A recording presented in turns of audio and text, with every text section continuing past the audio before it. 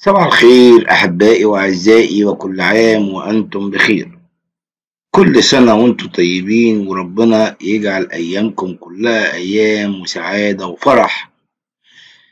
وبمناسبة اليوم العظيم واحد وعشرين مارس عيد الأسرة أو عيد الأم في عيد الأم أمهات مسيحيات احترقت. قلوبهم بالحزن فمتى يتم إنصافهم وإعادة البسمة لهن؟ الحقيقة نماذج مشرفة. سيدة القرم والدة جرجس بارومي والدة الطفل شنودة أمهات أربع أطفال المنيا. في هذا اليوم الذي نحتفل به بعيد الأم وتظهر قصص كفاح أمهات مثاليات فكان لنا أن نعرض أو نعرض قصص أمهات لم يتذكرهم أحد. ولكنهم يستحقون التكريم لصبرهم وكفاحهم بل أيضا هن نموذج حقيقي للكفاح. نحو العدل والحق ورغم عدم إنصافهم ولكن استحقوا أن يكونوا نماذج لا تنسى. لا تنسى بمعنى الأمومة والصبر والكفاح. وهنا أعرض لكم أهم هذه النماذج الكريمة. أولا السيدة سعاد ثابت سيدة القرن 74 سنة. لا يمكن لأحد أبدا أن يتخيل ما تتحمله هذه السيدة المصرية الأصيلة التي أطلق عليها شامخة مثل الجبال.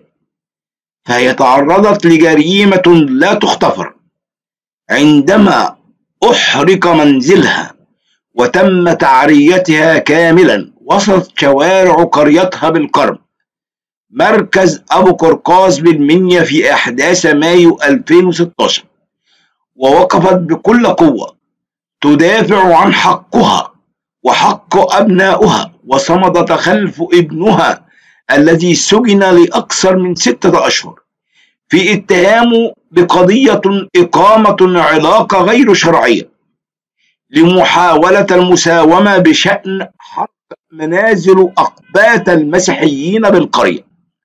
وتم تعرية السيدة سعاد وظلت هذه السيدة منذ عام 2016 يناير من هذا العام صامدة خلف حقها حتى صدر حكم ببراءة المتهمين الذين قاموا بتعريتها وتأييد النقد للقرار بالبراءة فكانت تصرخ وتقول حقي عند ربنا. ظلت هذه السيدة بمفردها تكافح لأجل حقها رغم هجرة أبناؤها للخروج بعد هذه الأحداث بعد أن أصبحت حياتهم صعبة الاستمرار في ظل هذه الظروف التي تعرضوا إليها. ليكتبوا على هذه السيدة أن تدفع ثمن غالي لتعرضها لهذا الظلم. فلذا طالب الجميع بتكريم هذه السيدة لتكون الأم المثالية. ثانيا جرجس بارومي والدة جرجس بارومي. هذه السيدة التي تحملت ما لا يستطيع أحد أن يتحمله. ففي عام 2009 تعرض منزلها للحرق والتهجير من قريتها بمحافظة قنا. بعد اتهام ابنها جرجس بارومي بانتهاج عرض طفلة في قضية ملفقة لا سيما أن ابنها مصاب بالعنة والكل اعترف بذلك. ورغم ذلك احترق قلب الأم على ابنها الذي حكم عليه الذي أيضا نقول مرة أخرى. الذي حكموا عليه بخمستاشر عاما ولم يتمكن من استكمال حقه بالتقاضي نتيجة ثورة 25 يناير 2011 لتبدأ رحلة ألم في ظل غياب ابنها وإصابة زوجها بالشلل والذي توفى قبل عامين وكان أمله أن يرى ابنه جرجس. ظلت هذه السيدة التي هجرت من محافظتها من قنا إلى إحدى محافظات الوجه البحري تعيش في ألم وقلبها يحترق حزنا على ابنها الذي تعلم إنه بريء وهي تناشد كل عام للإفراج عن ابنها حتى تحتضن قبل وفاتها بعد وفاة الأب بحسرته لعدم رؤية ابنها.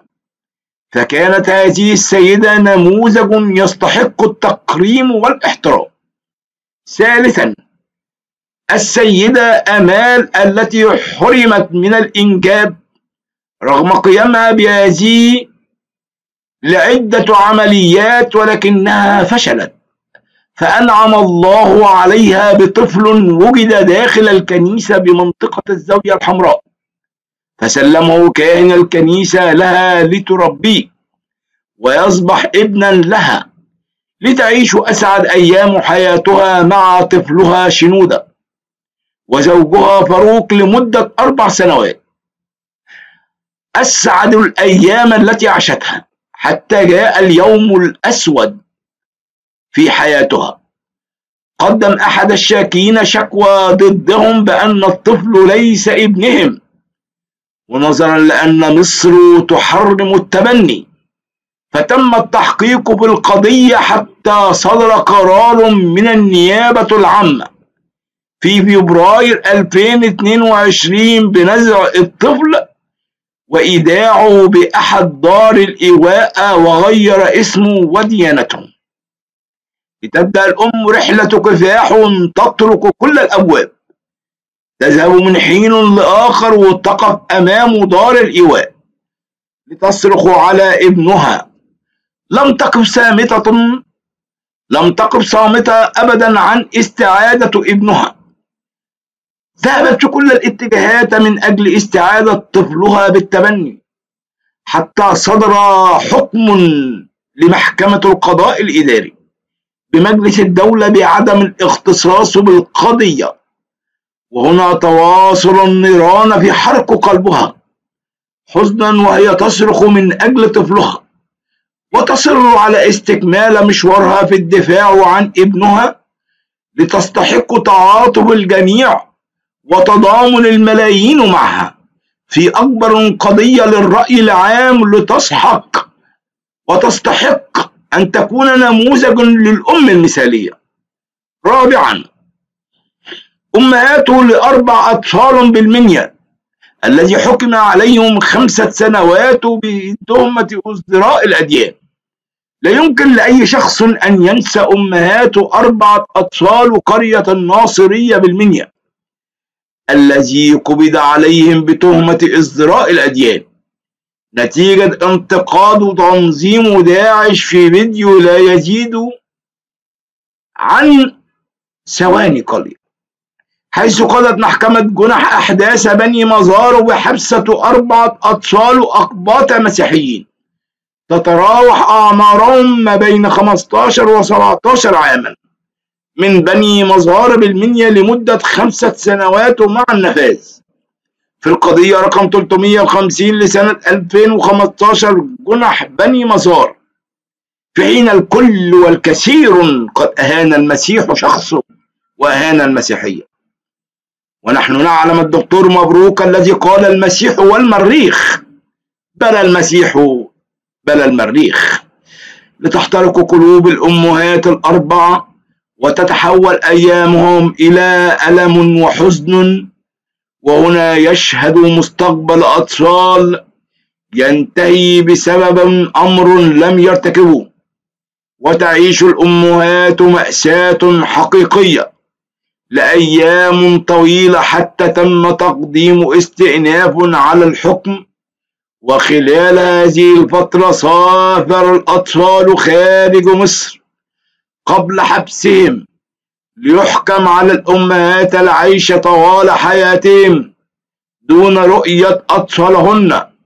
ولكن كان هذا هو الاختيار الأصعب وهو أن يعيشوا خارج مصر أو أن يتم حبسهم وضياع مستقبلهم. فحقا استحقت هذه الأمهات الأربعة المسيحيات كل الاحترام والتقدير. كنموذج عانى الكثير من أجل أطفالهن. ولنطلب الآن وأن نصلي أمام ربنا يسوع المسيح أن يجعل مصر دائما للخير والحب وأن يجعل المواطنة هي الأصل. إن المسيحيين قد عانوا من قبل ومن بعد ومنذ بداية المسيحية حين عانى المسيح من اليهود وعانى المسيحيون من دقلديانوس وعانى الكثير من المضطهدين والذين أغلقت قلوبهم وكانت قلوبهم غليظة وحنجراتهم قبر مفتوح فلنطلب من الله أن يحافظ على الطفل شنودة وأن يحافظ على مصر جميعها وأن يبعد عنا الغلاء والوباء وأن يحافظوا على رئيسنا عبد الفتاح السيسي بصلوات غطى القداسة البابا تودروس البابا المعظم. الذين نشكو له من أجل أنه حضر تكريم المرأة المصرية ولم يذكر هؤلاء السيدات ولم يذكر ابننا الطفل شنودة. ولكن الله هو الذي يعلم لماذا لم يتدخل لأنها أمور قضائية وهو لا يريد أن يتدخل في هذه الأمور حتى لا يكون موقف المسيحية في موقف حرج. كل الشكر وكل التقدير لكل المصريين الكرماء لكل المصريين الوطناء الوطنيين الذين يقفون بجانبهم. فلنطلب من الله أن يحفظنا وأن ننتهي بصلاتنا بشفاعة جميع القديسين. القديس العظيم ماري جرجس وأمنا السيدة العذراء مريم ونطلب من الله وأن نقول أبانا الذي في السماوات يتقدس اسمك يأتي ملكوتك تكن مشيئتك كما في السماء كذلك الأرض خبزنا كففنا أعطينا اليوم واغفر لنا ذنوبنا كما نغفر نحن أيضا المذنبين إلينا ولا تدخلنا في تجربة لكن نجينا من الشرير بالمسيح يسوع ربنا لأن لك الملك والقوة والمجد إلى الأبد آمين. باسم الآب والابن والروح القدس الإله الواحد آمين. كل الشكر وكل التقدير. أدعوكم للاشتراك بالقناة. إن وجدتم هذا الفيديو لائقا لكم. شكرا لكم. بسم الآب والابن والروح القدس إله واحد آمين. مع قناتكم قناة الملك والأمير أشكر كل مشترك القناة. اليوم أنا سعيد جدا جدا. مشتركين كتير دخلوا القناة. وتعليقات جميلة جدا جدا سواء إيجابية أو سلبية أو إيه كانت بالإيجاب أو بالسلب أو بالحب أو بالدعاء أو بالإهانة. كل واحد وليه رأيه وليه دنيته. وعشان كده النهاردة التلات واحد وعشرين مارس بنقول لكل أم كل سنة وأنت طيبة ويا رب دايما تكوني أم حاضنة وتكوني بالحب ومدى العمر نتكلم عن هذا الطفل وكل المستحدثات اللي هنتكلم فيها. وفي الأول اعذروني إن كنت قرايتي قراية فيها بعض الأخطاء في اللغة العربية سامحوني. ولكن اليوم هنبتدي بنقرأ سنكسار. اليوم وقناتنا قناة الملكة والأمير. الملكة هي السيدة العذراء والأمير هو ماري جرج طب نقول إيه؟ نقول ضربة في الجون ولا نقول إيه؟ حقوق الإنسان. النواب عن أزمة الطفل شنودة. اتربى مع أهل وخد عليهم في بيئة مستقرة. لماذا لا نسمح بروح القانون؟ بعد شعور قصير بالفرحة عاد الحزن يسكن الأستاذ فاروق فوزي وزوجته أمال ميخائيل. والدي الطفل شنودة بالتبني لكن هذه المرة مضاعفا وذلك بعد حكم المحكمة الإدارية بعدم الاختصاص في قضية الطفل شنودة وهو حكم غير متوقع أبدا حيث ظنا كما كثيرين أن المحكمة ستحكم لصالحهم بعدما قررت حجز الحكم للدعوة لآخر الجلسة. وقال الدكتور أيمن أبو العلا وكيل حقوق إنسان النواب في تصريحات لبرنامج في النور تقديم الإعلامية يوستينا يوسف عبر قناة السي تي في القبطية الأرثوذكسية لماذا لا نسمح بروح القانون حتى تتكفل أسرة بهذا الطفل وترعاه لحين حل مشكلته. لافتا ما يهمنيش إن كان اسمه شنودة أو محمد أو جرجس أو إبراهيم أو أحمد. اللي يهمني إن الطفل يتربى مع أهله اللي خد عليهم وعاش في بيئة مستقرة. ولازم يستمر هذا الاستقرار. وشغلت قضية الطفل شنودة الرأي العام في مصر وفي الخارج وأغضبت الملايين حيث تم إبعاده عن الزوجان المسيحيان. اللذان قام بتربيته بعدما عثر عليه رضيعا داخل الكنيسة. وإيداعه في ملجأ واعتباره مسلم بالفطرة. وماذا بعد كل هذه المباحثات؟ كلام في كلام في كلام. وكيل حقوق الإنسان يقول كلام. ولكن إلى متى نفضل في هذه الأزمة الحقيقية؟ حقيقة أصدرت المحكمة الإدارية حكما بعدم الاختصاص في قضية الطفل شنودة. ما جعل السيدة أمال ميخائيل والدته بالتبني تنهار وتصرخ وتبكي بمرارة قائلة أنا عايزة ابني. وقال الدكتور أيمن أبو العلا في تصريحات لبرنامج السي تي في للإعلامية يوستينا كما قلنا ما يهمناش. ولا يهمنا في هذا الموضوع هو الطفل غير إنه يهمنا الطفل نفسه. ونحن لا نتدخل في أحكام القضاء. لافتا لم يتم إصدار حكم قضائي في القضية حيث قضت محكمة القضاء الإداري بعدم الاختصاص. ما يعني أنه تم تأجيل القضية قضائيا؟ وطالب أبو العلا بتسهيل اجراءات تبني الطفل لحين حل القضية أو الكفالة. وشغلت قضية الطفل شنود الرأي العام في مصر وفي الخارج وأغضبت الملايين حيث تم إبعاده عن الزوجان المسيحيان اللذان قام بتربيته بعدما عثر عليه رضيعا داخل الكنيسة وإيداعه في ملجأ باعتباره مسلم بالفطرة. حقيقة الأمر أصبح مضيق للغاية. الأمر الذي أصبح خاطر جدا. وأقول ماذا؟ أقول كل الحزن أن هذا الطفل شنودة تحول اسمه إلى يوسف عبد الله. هل هذا هو المقبول؟ شخص يجدوه به داخل الكنيسة. والدة الطفل شنودة قاموا بتغيير اسمه إلى يوسف عبد الله محمد. قصته تشبه هذا القديس تعرض للسجن والتعذيب والإهانة.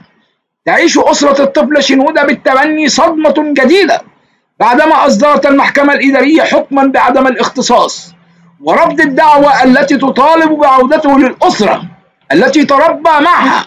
وقالت السيدة أمال ميخائيل للعربية مصر قاموا بتغيير اسمه من شنودة فاروق فوزي بولس إلى يوسف عبد الله محمد.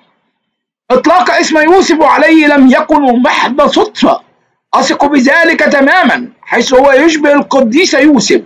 القديس يوسف أعز ما لديه إخوته رموه بالبئر. واتسجن واتعذب واتهان وفي الآخر طلع حاجة كويسة. وأنا واثقة إن شنودة هيطلع حاجة كويسة. وشغلت هذه القضية الطفل شنودة الرأي العام في مصر وفي الخارج. وأغضبت الملايين حيث تم إبعاده عن الزوجان المسيحيان اللذان قام بتربيته بعدما عسر عليه رضيعا داخل الكنيسة وإيداعه في ملجأ واعتباره مسلم بالفطرة. نقرر بكل هذا الكلام نقرر بكل هذه المقاييس. إلى أين؟ وإلى متى؟ يا أيها الفتى سوف ينقذك الرب. لن يتركك لن يتركك هذا الشعب الشعب المظل دائما الذي يحب العدالة. حقا حقا حقا. لن نترك الأمر أبدا. لن نترك الأمر أبدا هينا. لن نترك أبدا. الأمر يكون بهذه الهزالة آمين. وقضيتنا اليوم قضية الطفل شنودة وماذا قال؟ الجعارة عن كفالة شنودة فيلم رديء لتلتقط الأم الغريبة الصور وتلمع أضواء الكاميرات. رفضت الكاتبة سحر الجعارة طرح البعض فكرة كفالة الطفل شنودة مؤكدا أنها تكرس من استلمته وتكرس من انتزعته من أبويه. وقالت الجعارة عبر حسابها على الرسمي على الفيسبوك الطفل شنودة ليس بحاجة لأسرة مسلمة تكفله بل أن هذا يزيد الأمر تعقيدا. وأضافت الحقيقة أن الطفل شنودة يحتاج إلى من يضمه لا أن من يزور في بيت غريب لتلتقط الأم الغريبة الصور وتلمع أضواء الكاميرات. وأكدت أن من طرح كفالة شنودة يكرس أن أسلمته انتزاع من أبويه وليس العكس. من عرضت أمومتها البديلة تنحاز لوزارة التضامن الاجتماعي وعدم اختصاص القضاء ومنظومة الإسلام يعلو ولا يعلى عليه. واختتمت سحر الجعارة فقط هي من تكتب. مشهد النهاية لفيلم رديء شارك فيه المجتمع. وبركته هي وآخرين باستغلال عذاب أم لتجميل الصورة الطفل شنودة مسيحي بكل المقاييس. ليس هو الدين هو المقياس يا سيدتي بل الطفل التي كانت تربيه أسرة كاملة. حورس المصري تظل قضية الطفل شنودة وصمة عار على جبين كل مصري. لديه ذرة من الإنسانية. واستنكر الكاتب والمفكر حورس المصري تعامل وزارة التضامن الاجتماعي مع قضية الطفل شنودة مشيرا إلى أعداد أطفال الشوارع والمشردين والذين بلا مأوى أو أسرة دون تحرك الوزارة لإنقاذهم. ونشر المصري عبر حسابه الرسمي على الفيسبوك صورة لثلاثة أطفال بلا مأوى. وعلق قائلا ألوه يا سيادة وزيرة التضامن شايف الأطفال اللي في الصورة دول؟ اللي بياكلوا من الزبالة. طيب انت عارفة ان في زيهم مئات الالاف عايشين في الشوارع بالشكل ده؟ صيف وشتاء. طيب عارفة ان في كتير منهم هيكون مشروع لمجرم خطير؟ وتابع. أنا عارف طبعا انك شايفة شغلك تمام وعلى اكمل وجه وده كان واضح جدا في قضية الطفل شنودة ومتأكد انك عارفة بالظبط أعداد أطفال الشوارع والمتشردين والذين بلا مأوى أو أسرة. وعارف انك مش هتتحركي لإنقاذ أي طفل منهم. إلا إذا تم تبنيه من قبل أسرة المسيحية بصراحة نعم الوزيرة ونعم الهمة ونعم النشاط. نعم الوزيرة ونعم الهمة ونعم النشاط ونعم الإخلاص للعمل. مجهود تحسدي عليه. واختتم وتظل قضية الطفل شنودة وصمة عار على جبين كل مصري. لديه ذرة من الإنسانية. هذا ما قلناه لكم. البابا تودروس يشارك في احتفالية عودة الطفل شنودة أم تكريم المرأة المصرية؟ ماذا؟